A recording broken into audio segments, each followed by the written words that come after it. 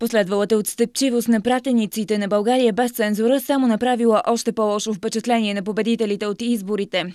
Приели го като отричане от предизборните обещания на Бареков. Нашите основни приоритети чувствително се разминават с онова, което бе пропагандирано от тях по време на предизборната кампания. Ние не подкрепяме такъв морал в политиката с едни послания да привличаш гласоподаватели, за да стигнеш до Народното събрание и след като вече си тук, да не даваш формата и начина, по който ще устояваш своите предизборни обещания пред българските граждани. Бързичко установихме, че така доста ни се различават вижданията.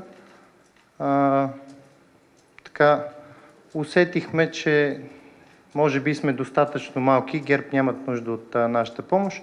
Затова гледаме да не си губиме времето. В момента българския народ очаква работа, а не празни приказки. Иначе от досега проведените срещи с партиите от бъдещия парламент, ГЕРБ се надяват на още разговори само с реформаторите и Патриотичния фронт. Очакваме а, реформаторите да изчистят онези проблеми във връзка с легитимацията на хората, които водят консултациите и преговорите и когато го направят да ни информират.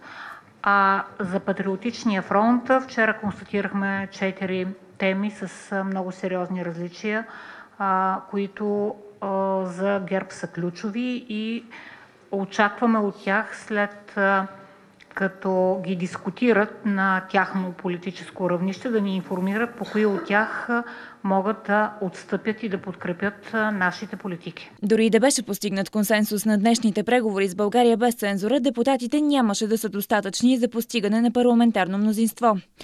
Зад евентуално правителство щяха да стоят едва 117 депутати, заедно с тези на Патриотичния фронт. Кабинет, подкрепен от ГЕРБ, реформаторите и патриотите, би се ползвал с 126 гласа парламентарна подкрепа.